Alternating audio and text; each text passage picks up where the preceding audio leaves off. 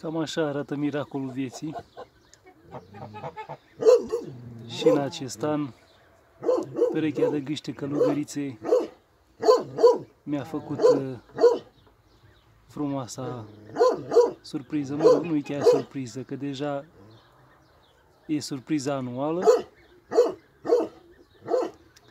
Abia eclozați, încă nu știu cât sunt, nu i-am numărat și până mâine nici nu voi umbla la ei.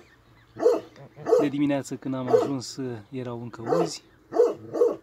Acum au început să se usuce, unul deja e și un pic afară.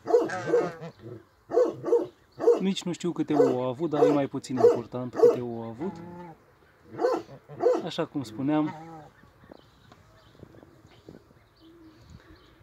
și în acest an Gâsca și-a făcut pe deplin datoria, păzită strașnic de micuțul ei mascul, care e în stare să se bată și cu gâscanul, tula și cu oricine e necesar pentru a-și apăra uh, soața.